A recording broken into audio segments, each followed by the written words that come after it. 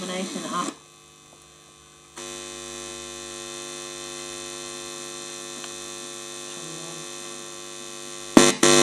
But he also worked for the, the Murdochs. He was a News Limited journalist for some time, so he'll be able to give us a real insight. It's been. So Stephen will be able to give us an insight into that. That's coming up shortly.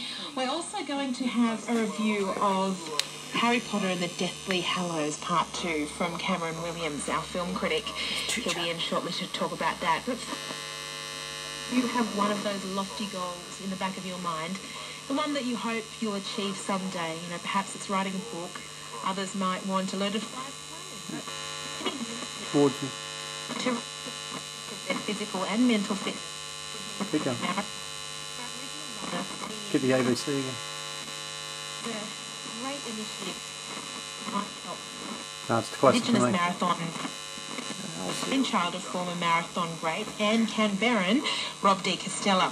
The next report is two years ago now. Um, it was one of, of Rob de Castella's initiatives. My name is- Never had, uh, the intention of this. And, and a few ideas were thrown back and forth, and, and I suppose the project came about just due to those thoughts initially. I see around the world That one doesn't want to work. our Australian Indigenous athletes may have similar genetic uh, and similar abilities to, to what some of the other African athletes have from around the world. And with a little bit of luck, who knows, we may find a, a real a real gem.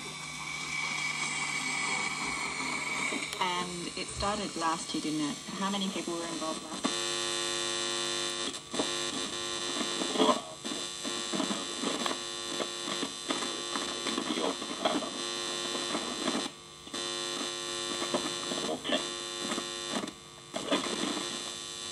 So we've got a squad of 20 athletes, Wow. Uh, and including women this year.